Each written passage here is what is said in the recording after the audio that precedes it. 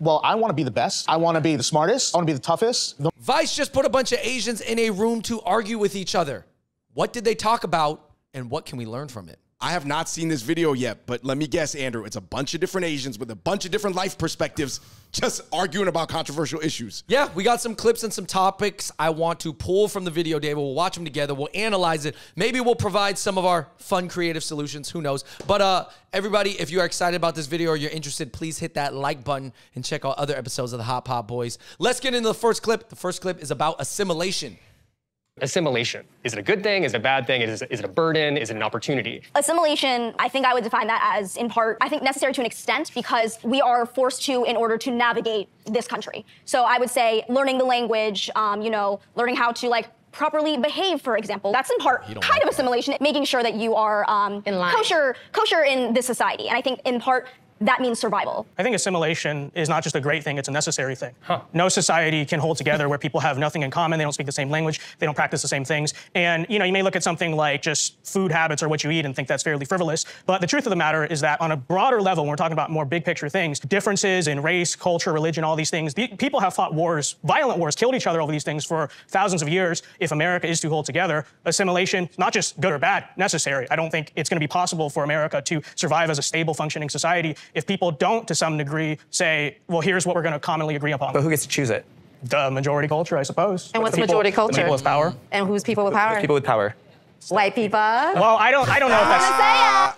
Yo, this is funny, man. Ben Lee Shapiro, he came through, and obviously, um, I would say, interestingly enough, Andrew, obviously you have like a left side and a right side represented in this debate, but they, it's not like they were on opposite ends. The first girl was like, "Yeah, I think assimilation is good, maybe to a six or a seven out of level, out of ten level," and the second guy came through and was like. Mm, how about a 10 out of 10 level? That's the way the system will work the best. And then, of course, uh, the comedian girl at the end is like, white people, huh? Is that what we're going to have to all become Judeo Christian Anglo wannabes? Yeah. Is that what you're saying? I, I guess the issue is that a lot of white people are like, "Hey, man, back in like the '80s and '70s when these immigrants were coming over, and there wasn't smaller a- numbers, and there wasn't as many numbers. of them, and they were more assimilating to our culture at the time. It seemed like things worked a lot better, and now things are so diverse, and people can't agree. Hey, it, it was fine to have immigrants to uh, Jackson Heights, Queens, when everybody was still hanging out the Jackson Heights, Queens diner. but man, you go there now, the diner's out of business, and I've seen all these things I can't pronounce. I guess can't my eat. question is like, I feel like I'm a Chinese American who has assimilated pretty a lot. I mean, considering you know I I don't really speak Chinese that well. You know, I eat American food. I'm pretty well versed in American culture. I have American friends, so I guess like, am I on the same page with other people?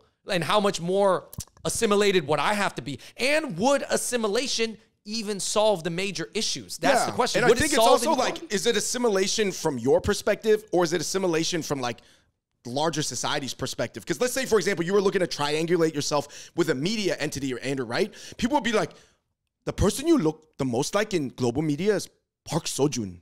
So think about it. No, nobody knows who that is in America, and probably highly unlikely that a large portion of America is ever going to know that. So you could look at that yourself and be like, well, if the, the people I look like the most in the media are in Asia, do I feel more Asian, even though the things that I do and the language that I'm the best at is more Western? And maybe that's why America needs to do something very un American and start a federal bureau of assimilation or multiculturalism or something, some type of governing body that has some type of say and power to help smooth these things out. Are you figure these things referring to the organizations that they have in Canada and Australia? because they do actually have people that are in charge of these, but I don't think anybody's really happy with the cultural products or the shows or the commercials I- they end up sponsoring. Everything in America, Andrew, to me, it's more market driven, where the changes are more like long lasting because it's the market and capitalism, but it, it- it's almost like even slower to come around. For example, in Canada and Australia, they've always had like government sponsored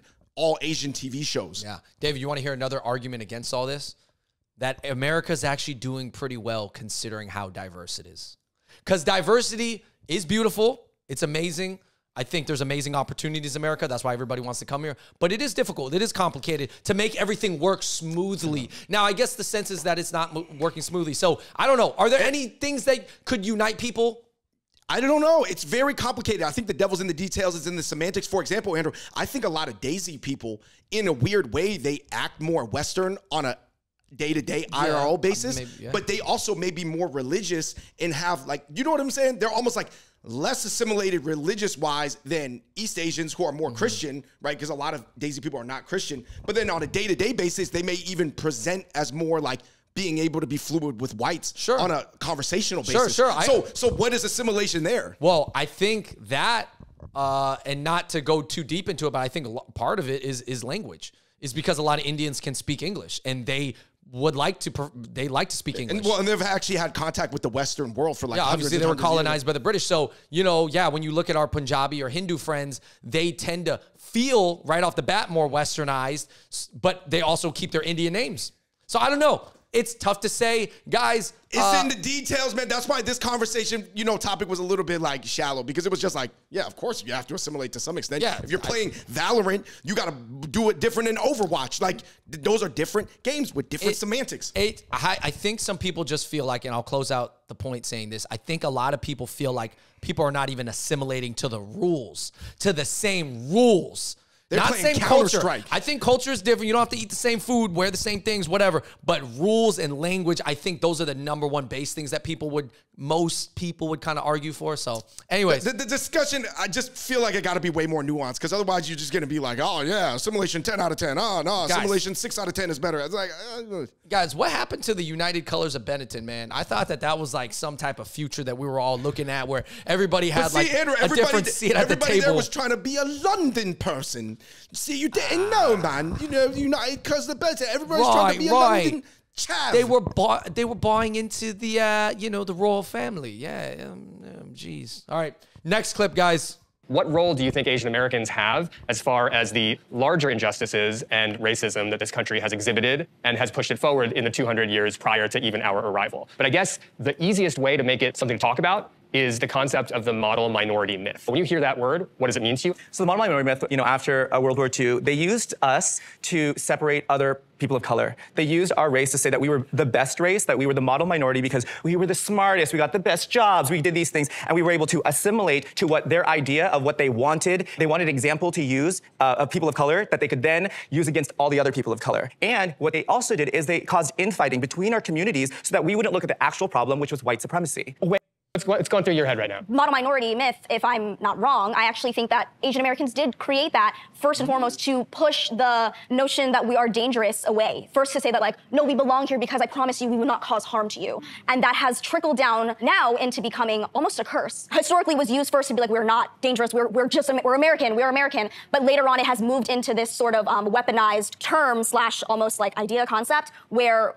we get to say like, oh, because we are model minority, like we're not like dangerous and we're not this. And I think about this a lot with class, like a lot of Asian women who are sex workers. Who are we actually Exactly. taking into account when we think about model minority? And I think that that term really applies to a very specific amount, or that idea of what that looks like is very specific. Because when I think of the Asian Americans that I know, I don't think that they're worried about whether or not they look like model minority. I think they're just trying to survive. Mm. Being described as a model minority. For me, it's like, well, I want to be the best. I want to be the smartest. I want to be the toughest. The model minority thing, I've never thought about it because I'm too focused on trying to be a model American. All right, man. I'm gonna be honest. I feel like the whole debate about the model minority term is a little overrated because you bring it up like to someone who just got here like 15 years ago and is trying to get their life on track. And then there's like a third generation Asian American that's thinking about it, being like, yo, it was used to weaponize, blah, right, blah, we blah. took, we took like Yeah. 50 race studies Yeah, and first of all, when it comes to the history of the model minority term, uh, I think there's a little bit of truth in everything that they said because I do think it started a while ago, was coined by a white person,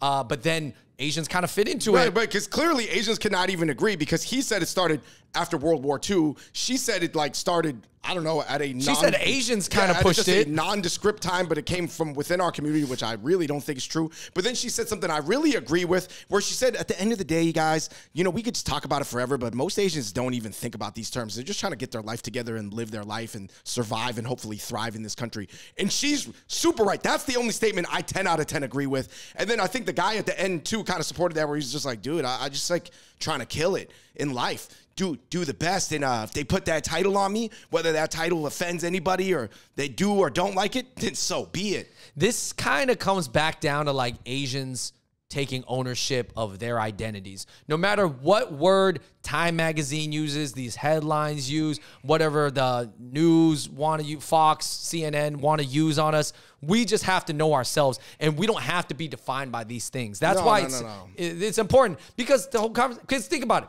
You got someone who's not thinking about this model minority political stuff at all. We have friends.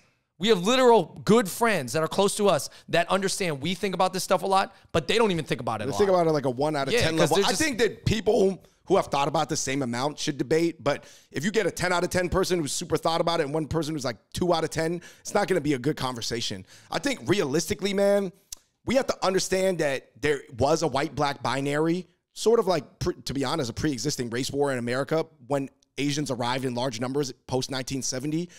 And um, you can fit into it or not fit into it. But I don't, I'm never going to tell somebody to feel bad about not thinking about it because they're just trying to get their life together. You do not have to be white to perpetuate white supremacy. No one's saying it's not hard to govern a heterogeneous society, but it is possible to do a lot better than the way that we're fucking doing it right now. It's like we've banked on this myth of white adjacency more than this model minority myth of like instead of aligning ourselves with the black community who've been fighting for racial justice Yes. and liberation, right, and, and acknowledging our own privilege and putting our bodies on the line to fight for these movements. Instead, we banked on white adjacency, and here we are still being pushed. Yes. into What is, what subways. is okay? Right. First of all, what exactly is white adjacency? Is it working hard, having families? I didn't- no, having- no, like, no, I don't, no, I don't understand what the issue is. actually- But then number two, wait, let me finish my point. I Certainly. think, I think it is gaslighting when, again, the majority of violent attacks against Asians are not being perpetrated by white people to blame white supremacy. white supremacy as a construct is this idea like that the norm of American is whiteness. Yes. That whiteness is the default. Standard. That whiteness is the standard that we all ought to aspire to. And we It's deviate not just from talking that. about KKK. Yeah. It's not talking about lynchings. It's about a mentality that we have otherizing. absorbed. I'm gonna I'm gonna interrupt for a second. Yuling, what's Oh man, this kind of devolved into like one of those like Jerry Springer type daytime like you know drama shows.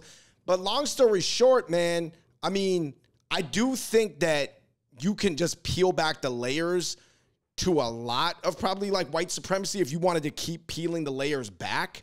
But at the same time, I mean, that's like peeling back the layers. Also, uh, if we peel back the layers further than that, to the first lizard that wanted to become a mammal. You know what I mean? Like, how far back are we gonna go? You know how you always seen those memes? Like the lizard like looks at the land and is like, "Oh yeah, maybe I'll become like an amphibious, like half like yeah, fish." yeah, and then yeah, now you got to go to work and wake up and drive two hours to work on for six a.m. Oh man. Yeah, I mean I think overall um and or the classic white supremacy talk. I mean, I think that obviously, guys, there's always going to be valid points on both sides, and probably even another valid point coming out of left field that nobody's ever even considered that's like radically centrist or radically different. But at the end of the day, he, he's just talking about like, how much do you blame anybody for something that uh, had a domino impact, a domino Oh, yeah. effect? Yeah, for sure. No, listen, I mean, uh, white people were in charge of this country solely, like majority wise, for sure, for like pretty much most of its existence, right? Maybe now it's a little bit more so mixed. theoretically, you could blame all the bad things as well as the good things on white people, Yeah. right? Because I- they you know what I want to know? I want to see the plan and the proposal on what people are asking from white people. I think that's totally fair to ask some things from white people, whether it's reparations, these things. I think there's great arguments for it. I just want to know the proposal because I'm like, yo, it is tough to right all the wrongs because I that's what the guy said somewhere in this video. He said, yo, it's time America needs to right the wrongs. I was like, oh, there's a lot of wrongs. How are we going to right them? I want to see the. I'm interested. I'd love to see it. Yeah, I think both people have really dug their feet in the sand because on the right side, they're like, man, I'm not saying history's perfect, but I, I'm trying to move forward. I'm sick of the fighting. And, then and of course, you're trying to move forward. Look at you. You're in the position of being a white man. So, of course, you want to move forward and forget about all this stuff. Right. And then the white guy, he has one of two reactions. Yes, I'm either an upper middle class or rich white man, so so be it. Or I'm just a trucker. I mean, what you mean white privilege? I got to drive these trucks to get my paycheck and, and Yeah, work maybe hard. Maybe maybe it's true when I turn on the radio in my truck, I get to turn it on to like my shows that support me, but Man, man, let me tell you, man, I'm I'm Theo Von, so I, I'm just trying to live, man. That's how Theo Von. Theo Von is like the typical like non-privileged white guy. I will say funny. the one thing that's true is that, and this is why the left and the right cannot agree on a lot of things, is because the left is making solid points, but from an idealistic perspective. And I sometimes think the right is making points from like a let's just get this show back on the road. Let's get this machinery back on the road. But obviously that's gonna like overlook a lot of historic injustices. So they're both like just cannot agree. Like literally, I'm looking at the way their brain is processing history and their timeline of looking forward or looking backwards and like how much reconciliation needs to happen. I'm just like, dude, I don't think you guys are gonna agree. We need plans.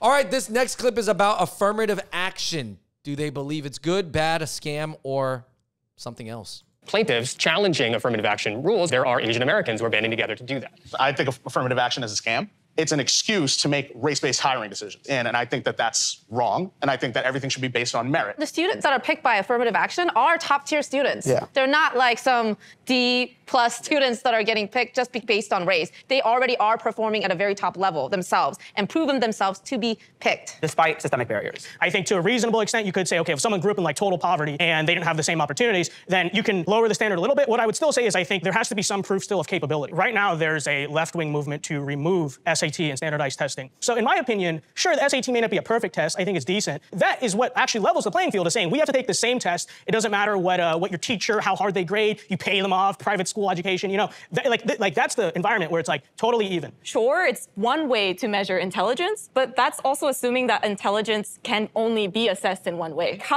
Andrew, the affirmative action debate is a classic one that I actually think is gaining traction in 2022, moving into 2023. Um, Asian Americans, I see them super split on this issue.